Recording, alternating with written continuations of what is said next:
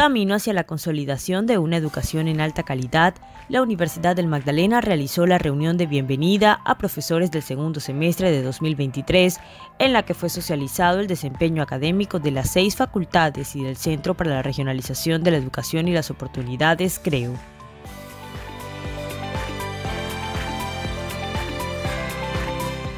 Temas como la evolución de la matrícula en general desde 2013 a 2023, el rendimiento académico y progreso de los estudiantes, así como estadísticas de graduados hasta el presente año y la evaluación docente, hicieron parte de la presentación del rector Pablo Vera Salazar ante 472 docentes entre catedráticos de planta y ocasionales. Repensar, modificar y aplicar para eh, no solamente eh, darle al, al, estudiante un resultado de su evaluación, sino para que la universidad en conjunto tenga un resultado real de lo que es el aprendizaje de los estudiantes. Un, compromiso de fidelidad con la educación, con, con, el alma mater, pero también con los estudiantes.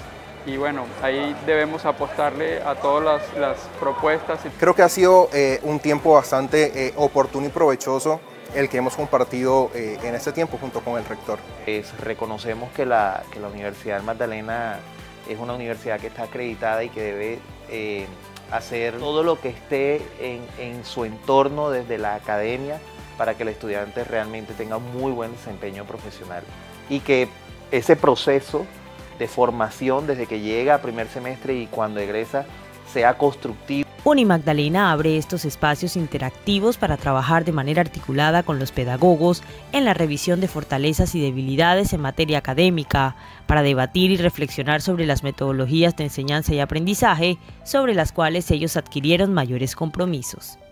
Universidad del Magdalena, aún más incluyente e innovadora.